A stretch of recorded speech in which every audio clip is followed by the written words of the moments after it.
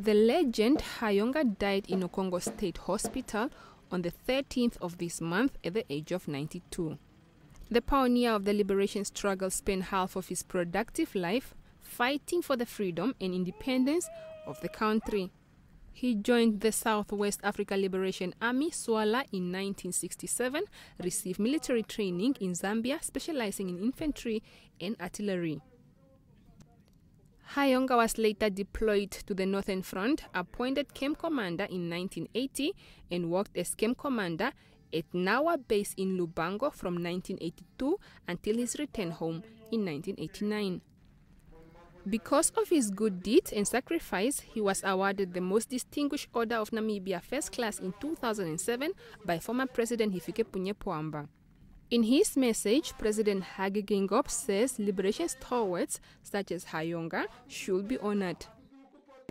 His ultimate aim and that of his peers was to see an independent Namibia, a Namibia where fundamental human rights and freedoms are guaranteed, a Namibia free of discrimination and nepotism, and a Namibia where the people have the destiny of their own country in their own hands.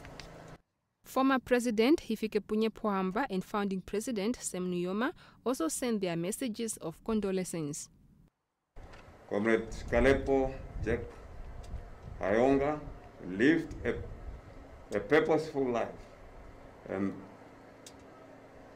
and although he although although his departure has brought unmeasurable pain we are consoled by the fact that he lived to witness Namibia's reconstruction and development into a peaceful and democratic state. The late Comrade Hayoonga's name is now written in golden letters in the chapters and letters of our country, in letters of our country's history, as he never gave up and never wavered until the attainment of our freedom and genuine independence on the 21st of March 1990. The president of the Namibia National Liberation Veteran Association, Ben Shikongo, also paid respect to the fearless freedom fighter. The loss of late Comrade Hayoonga has affected all of us, in particular war veterans of the liberation struggle and the nation at large. It is thus my humble request that we all seek solace in the comforting arms of Almighty God during this time of bereavement and sorrow.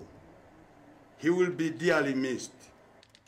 His casket was lowered in concurrence with firing party. Hayoonga is the sixth veteran of the liberation struggle to be buried at Eenhana Memorial Shrine.